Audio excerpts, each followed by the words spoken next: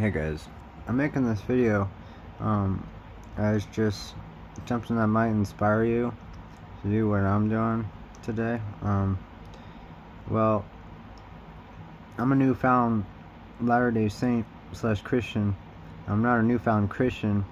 I've been a Christian for years off and on, but um, um, I'm a new Latter-day Saint. Um, and I just recommend you just try and follow God's commandments. Um, the Ten Commandments. Just really work at doing the right thing. not only will it keep you out of trouble, but um, you'll be more satisfied at spirit.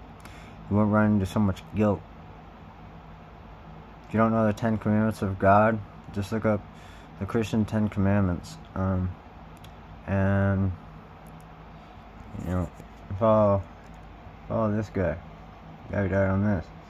Um, live like, try and live like him. Um, and just, uh, that's what I'm doing. Um, but one thing you gotta realize is that no one does that perfectly. The only one who did that perfectly was Jesus. It's a sinful nature.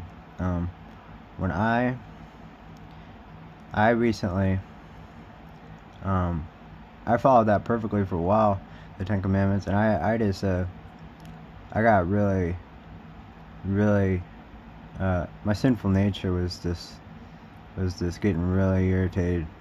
I mean, I, I I commit some sexual sins um, just recently. Um, I kind of dabbled in some other religion, but I got back on the path of Christ, um, and I'm glad I did. Um, see you guys this video. Bye.